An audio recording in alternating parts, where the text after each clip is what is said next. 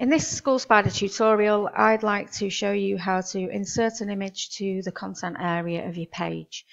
So I'm just going to go to uh, school information and we're just going to have a look at our nursery page as it stands at the moment.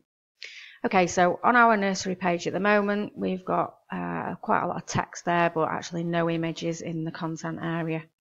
So I've logged into the admin area here and I've just clicked manage website and add or edit website page.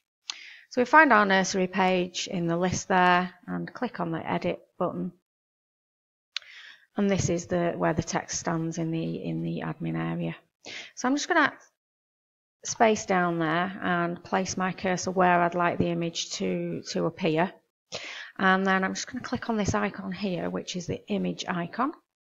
And that brings up your little image properties box. And what this is going to do, it's going to allow you to browse server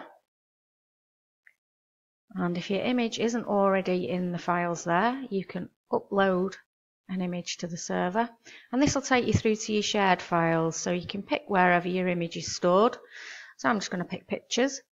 And I'm just going to upload this image here and open. That's going to upload that image to the server.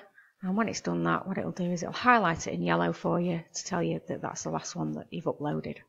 So, so I'm just going to double click on that, which again brings you back to the properties box.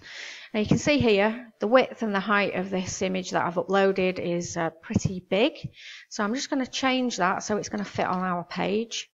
Now I've changed the width there, um, but this is locked so I can't change the height. So if I did want to change the height, I can just unlock that and then just change that in there to whichever uh, height I'd like it to be.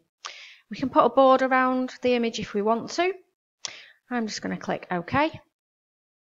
And that's going to upload the image into the content area there. We're just going to save all details. And then if we just go back to the website and give it a quick refresh, we can see there that's uploaded the image into the content area.